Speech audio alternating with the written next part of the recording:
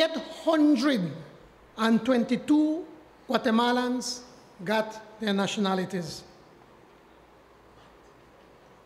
366 from El Salvador, 330 from Honduras, 62 Chinese, and then we have from all over the place, Mr. Speaker. We have from Bangladesh, we have from Spain, we have from Ukraine, we are from Ghana, from Pakistan, from Vietnam, from Brazil, from Romania, from all over the place. There are people that get the nationalities. There was no proper vetting and no proper process was followed.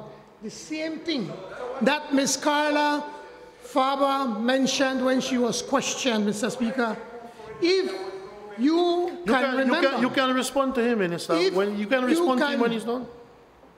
if you can remember, just before the elections in 2012, the media was out here late at night. Do you remember, gentlemen, up there?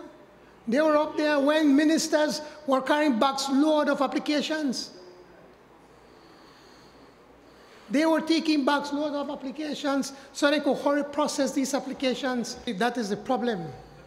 That whenever we start to speak about the truth, that side start to holler and say all kind of thing because the truth hurts. And we know that today we have one of the most corrupt government this country has ever seen by the my colleagues over the other side, Mr. Speaker. Remember, That is why, Mr. Speaker, we are saying, we are saying now that we have to clean up the list.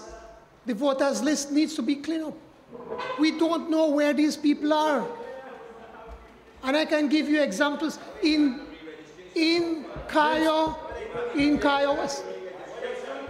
I'll come to that, my boy. remember you, you can't speak on more than one issue on your Sherman. adjournment, remember.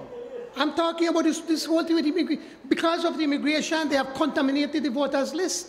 And it needs to be cleaned up, Mr. Speaker. And because you contaminate the voters, up. democracy is at stake. Because democracy is at stake, Yes, it's it a never-ending country. And I'm saying, yes, it is, Mr. Speaker. You have made your Because they need to stop that. You, the the point that you wanted to make was that supposedly the government in power stole the election. You have said that. What else is your point? And I'm saying that now that voters list is contaminated and it needs to be cleaned up. That is why they don't want to have a re-registration.